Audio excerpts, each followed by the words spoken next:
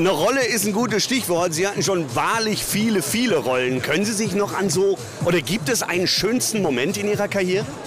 Ja, es gibt äh, einige ganz, ganz tolle Momente natürlich. Das ist ganz klar, wenn man also, äh, wenn das so vor der Kamera, wenn es so richtig funktioniert, wenn man also so äh, mit jemand zusammengearbeitet hat, äh, wo also diese Chemistry richtig da war. Natürlich auch mit einem Regisseur und so. Und ich war ja in der glücklichen Lage, mit wirklich ganz, ganz vielen, ganz besonders tollen Regisseuren zusammenzuarbeiten. Und auch natürlich Kollegen, ja, ja, ja. ja.